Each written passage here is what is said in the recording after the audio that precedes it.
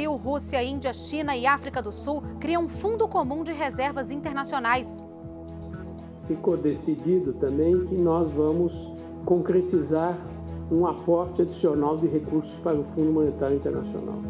Reunião do G20. No México, chefes de Estado discutem crescimento e geração de emprego nas economias mais afetadas pela crise. E mais, começam hoje as inscrições para o SISU. E veja também nesta edição do NBR Notícias. Ana decisiva na Rio Mais 20. Negociações avançadas para a conclusão do documento final da conferência. Indicadores inéditos de desenvolvimento sustentável revelam desafios e avanços, como a queda no desmatamento da Amazônia e na mortalidade infantil no país. Exposição multimídia na Rio Mais 20 reúne ações de desenvolvimento sustentável que deram certo em várias regiões do país. Aqui dentro, o espaço é utilizado para seminários, reuniões, debates e outros eventos. Tem arquibancadas para 120 pessoas e telões que exibem vídeos. O NBR Notícias começa agora.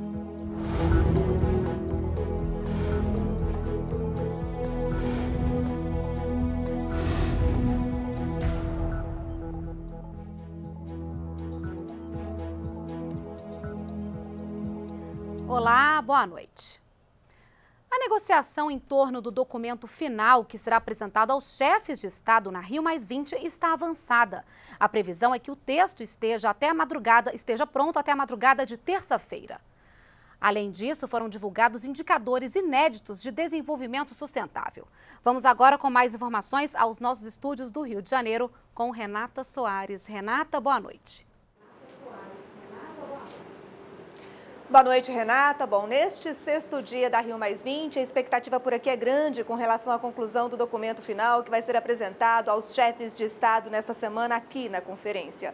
Bom, o repórter Paulo La Salve acompanha essas negociações e tem agora ao vivo as informações. Boa noite, Paulo. Boa noite, Renata. O acordo para concluir as negociações do documento final da Rio Mais 20 está próximo de ocorrer, mas as discussões prosseguem, não tem prazo para terminar e devem entrar madrugada adentro, segundo o embaixador Luiz Alberto Figueiredo, secretário executivo do Brasil aqui na Rio Mais 20. Quando o acordo for fechado, quem vai anunciá-lo é o ministro das Relações Exteriores, Antônio Patriota. O fortalecimento do Programa das Nações Unidas para o Meio Ambiente, o PNUMA, a regularização do uso da biodiversidade marinha em alto mar, com a proibição da pesca ilegal e o fim da ajuda financeira dada aos países para a pesca predatória e a criação dos Objetivos de Desenvolvimento Sustentável estão, de acordo com o governo brasileiro, entre os principais pontos e os pontos mais adiantados do texto. Sobre a criação dos Objetivos de Desenvolvimento Sustentável, a ideia do governo brasileiro é que seja criado um comitê interministerial formado por 30 membros, representando geograficamente todos os continentes, com a proposta de formatar entre setembro deste ano e setembro de 2013 os Objetivos de Desenvolvimento Sustentável que passariam a ser implementados a partir de 2015. Mas é justamente esta implementação que está emperrando o fim das negociações aqui na Rio Segundo o embaixador Luiz Alberto Figueiredo, o consenso ainda não ocorreu entre os países, mas a ideia é que seja criada uma variada fonte de financiamento, uma cesta variada de fontes de financiamento. E se maneja na área de meios de implementação é uma, um, um conjunto de meios, portanto, não, são, não é exclusivamente uh, cooperação para o desenvolvimento, o chamado ODA, mas também a isso se soma uh, outras modalidades eh, fundos de origem privada, eh, fundos de, de instituições financeiras internacionais, ou seja, múltiplas origens. E, e isso é que está sendo é essa cesta de maneiras de financiamento que está sendo manejada no documento. Hoje foi o terceiro dia dos Diálogos para o Desenvolvimento Sustentável, um espaço de debates da sociedade civil. Neste momento acontece o último painel desta segunda-feira. Vamos então ao vivo com o repórter Ricardo Carandina, que acompanha o debate e tem as informações. Boa noite, Carandina. Boa noite, Renata. Boa noite a todos. O tema deste último painel de hoje, deste terceiro painel, é cidades sustentáveis e inovação. Amanhã de manhã vai ser realizado o último desses diálogos para o desenvolvimento sustentável com o tema oceanos. Agora à tarde foi realizado o painel com o tema água, em que se discutiu a necessidade de tornar o direito à água uma de implementar o direito à água, que segundo uh, os debatedores já faz parte da constituição de cerca de 40 países em todo o mundo. Além disso, se falou também sobre a necessidade de estender os sistemas de saneamento e de proteger os mananciais de água. No período da manhã, foi realizado o painel sobre energia. Confira na reportagem. Bianca é veterinária e acha que não basta diminuir o uso de fontes de energia que causam poluição, como petróleo. Para ela, é necessário reduzir o próprio consumo de energia. Acho que a diminuição da demanda é algo que deveria ser considerado como uma das soluções possíveis para aumentar o acesso. No painel, os debatedores consideraram que o acesso à energia deve ter mais destaque. O tema só aparece em uma das dez propostas mais votadas na discussão online, ocorrida anteriormente. Eles também avaliaram que a recomendação aprovada pelos internautas precisa ser mais bem avaliada.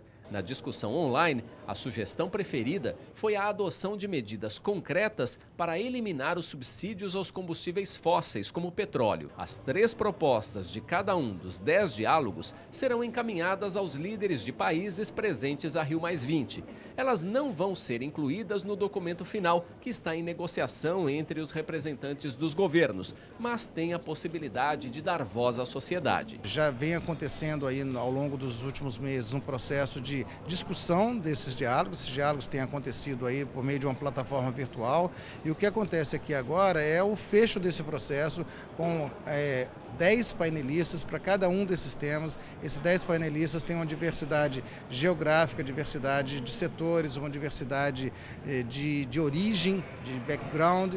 Então, isso é uma coisa que está sendo de uma riqueza fantástica. Né? Os debates têm sido muito ricos porque as pessoas que estão aqui são os grandes nomes mundiais naqueles temas que foram escolhidos. E agora a gente quer fazer com que esses, essas discussões elas possam se conectar com o processo oficial. Quem participou dos debates também acha que a iniciativa pode ser um canal para expressar a opinião da sociedade. Eu acho que quem vai fazer realmente a mudança é a sociedade civil e é o trabalho direto com a interação entre né, o, o, a sociedade civil, governo, terceiro setor, iniciativa privada, juntos a gente consegue fazer essas mudanças. O IBGE divulgou hoje, durante a Rio Mais 20, um relatório dos aspectos ambientais, econômicos, sociais e institucionais do Brasil na última década. Entre os destaques estão a diminuição do desmatamento na Amazônia e a queda da mortalidade infantil.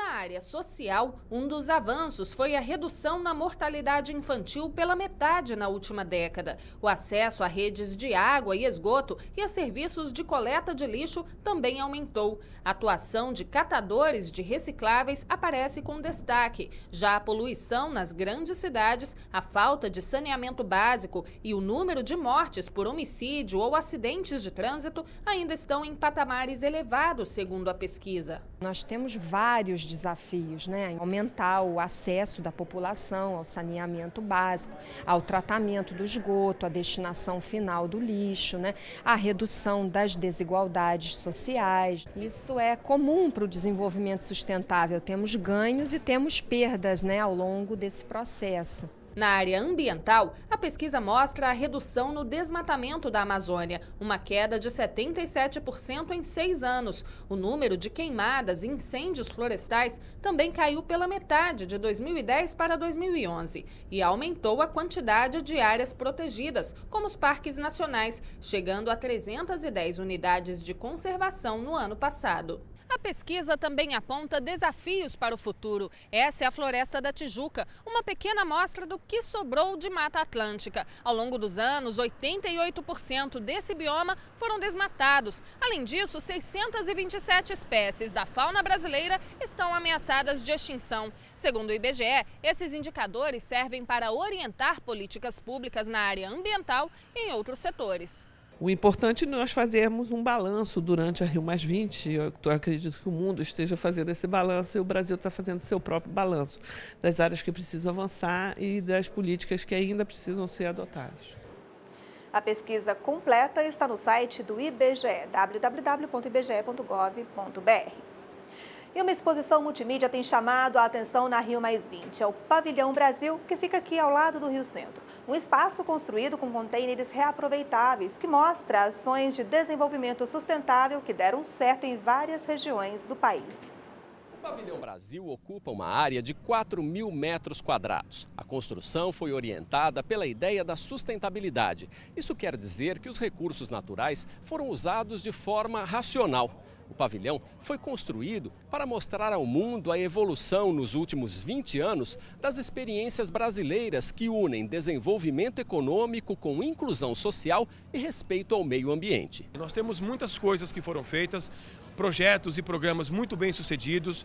Tudo isso poderá ser visitado por um público enorme durante todo esse, esse período de Rio Mais 20. Sim, o Brasil é hoje uma referência, sim. Eu acho que é, é, nós temos muito, nós fizemos muito e agora estamos mostrando. E também antecipando tendências. Estamos trabalhando com um cenário futuro.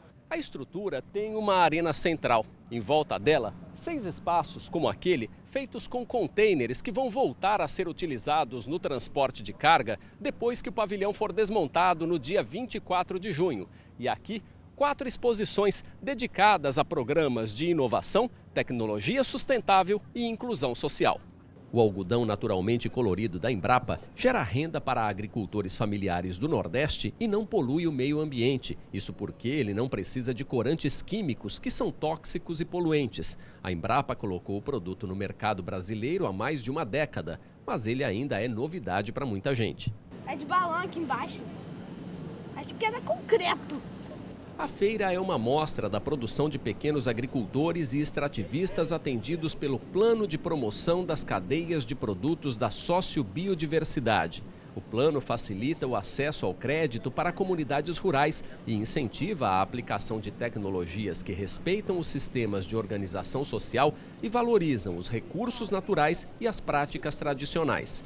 Nas quatro exposições, o visitante que tem um smartphone pode receber mais informações pelos chamados QR Codes. Aqui dentro, o espaço é utilizado para seminários, reuniões, debates e outros eventos. Tem arquibancadas para 120 pessoas e telões que exibem vídeos. E foi aqui a cerimônia de inauguração do Pavilhão Brasil.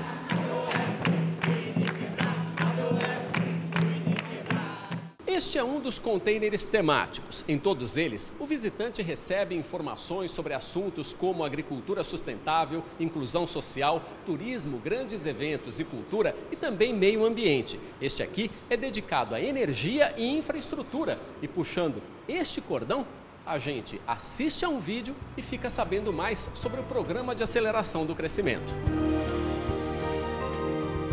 Esse sistema de som eu não conhecia antes e a gente pode ficar, acende a luz, apaga e ouve bem dentro da cúpula. Achei bem moderno. Está passando bastante o papel do Brasil hoje, né, de mais quase protagonista nesse novo, nessa nova ordem mundial de, de combustíveis mais limpos, né, de maior é, importância para a energia do planeta. Acho que está passando essa amplitude, acho bem interessante.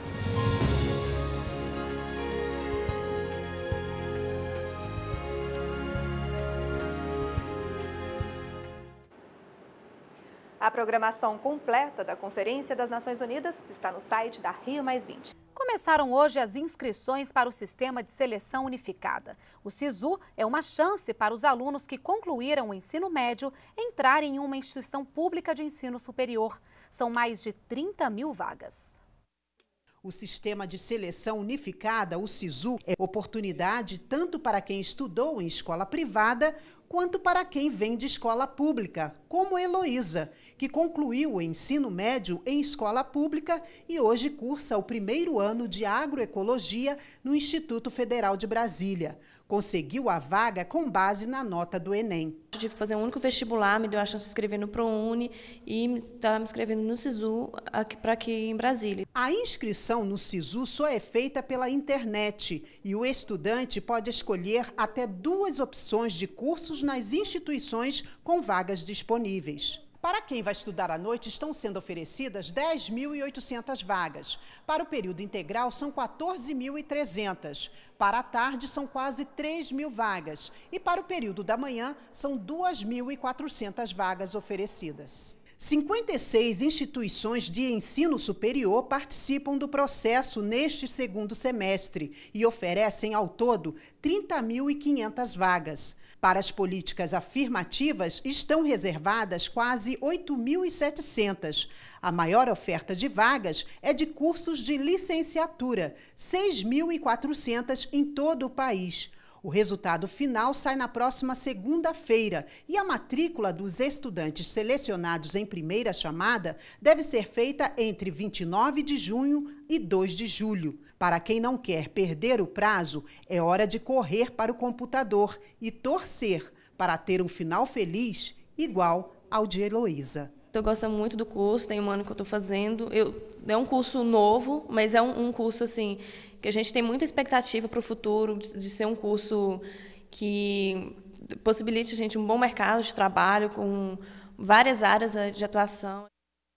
As inscrições para o SISU podem ser feitas no endereço que aparece na tela até a próxima sexta-feira, dia 22 de junho. Famílias extremamente pobres que têm filhos de até seis anos começam a receber hoje o benefício do programa Brasil Carinhoso. O pagamento será no mesmo cartão do Bolsa Família.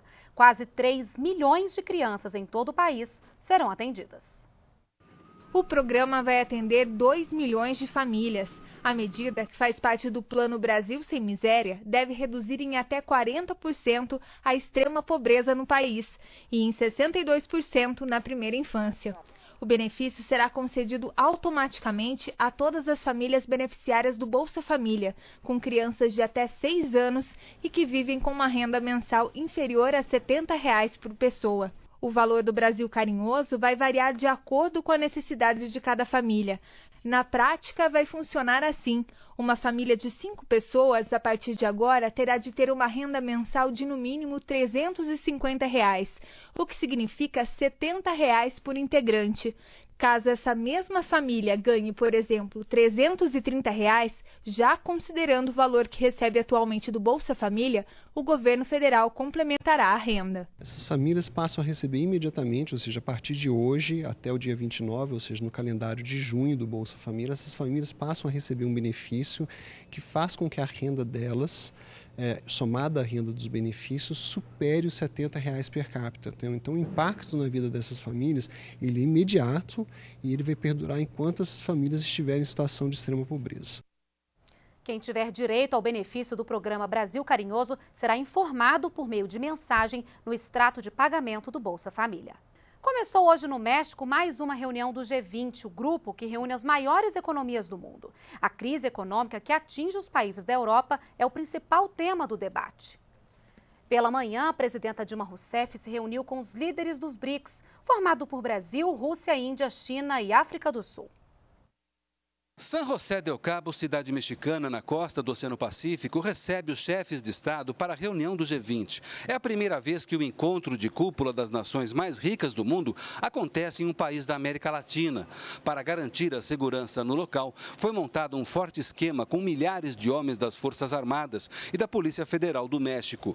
A presidenta Dilma Rousseff chegou em San José no final da tarde deste domingo. Antes das primeiras reuniões do G20, a presidenta teve uma extensa agenda por aqui. Hoje pela manhã foi o encontro dos BRICS, os líderes de governos do Brasil, Rússia, Índia, China e África do Sul. Segundo o ministro da Fazenda Guido Mantega, os BRICS vão iniciar estudos para um fundo de reservas do bloco, que é para fortalecer a situação financeira dos cinco países, que juntos somam reservas de 5 trilhões e meio de dólares. Para ajudar os países que enfrentam a crise financeira mundial, o ministro da Fazenda informou ainda que os BRICS vão aumentar o aporte de recursos para o FMI, o Fundo Monetário Internacional. O valor será superior a 400 bilhões de dólares e vai ser anunciado na reunião do G20 pelas lideranças do bloco.